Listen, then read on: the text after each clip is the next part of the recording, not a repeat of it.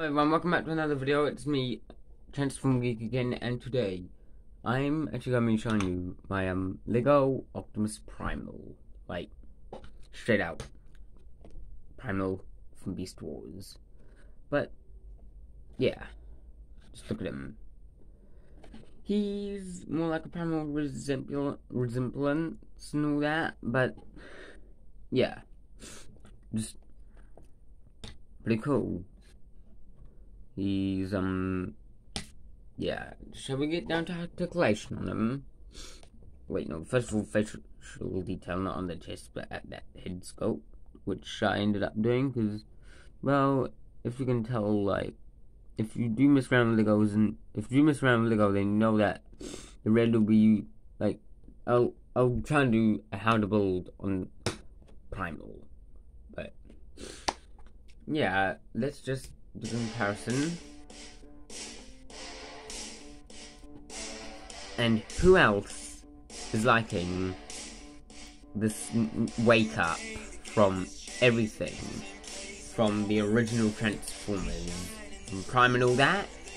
No, Optimus Prime, Megatron, Starscream and all that. Gone back to Beast Wars, which I think it's a wake up call. So, um, yeah, comparisons. So, first, first comparison is with a deluxe, which we're going with Sammy then.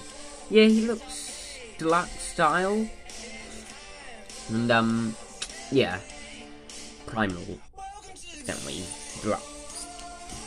Both deluxe.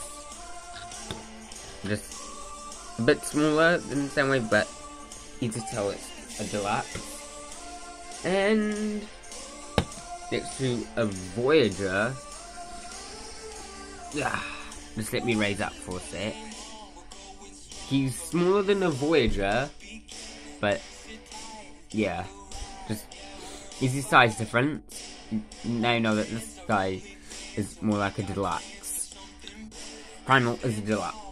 Usually he's meant to be Voyager size, but me, I put him as deluxe.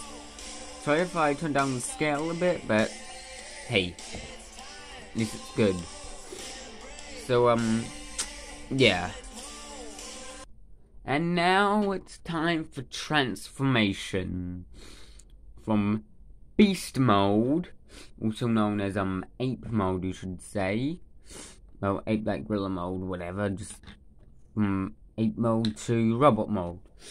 So the first thing we're gonna do is start with the legs here. We're just gonna swing them a 360 and just do the same on the other side. There, now we've got both sides done. Now let's move up to the body. We don't we don't do anything on the chest, but what we do here is we rotate the head a 360 and oh look, it's Primal's head. And now we're at the final stretch. Just put uh, about Primal's side pieces and yeah, just, just wait.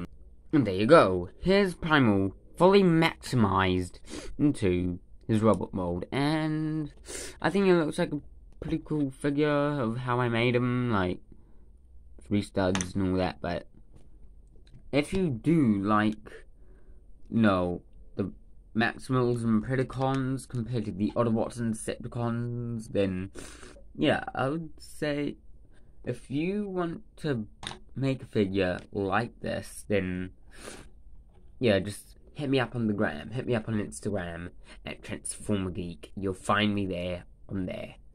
But I also go by another name and Danceable as well. You can find my other YouTube channel on Transformer Geek as well. So if you go onto channels, check me out on um check me out on Instagram, YouTube, well, my other YouTube channel, but yeah. This has been. Wait, no, wait, I forgot one thing. Comparisons and. Same doesn't change. It's just. Yeah. That has been. Oh, wait, no. Before you guys leave, make sure to hit that subscribe button for videos like this, because I could be doing Maximals and Predacons up next, but make sure to like, comment, and subscribe. And if you've gotten this far in the video, like the video. And if you dislike, then put a reason why. But like this video, make sure to comment if you like this figure.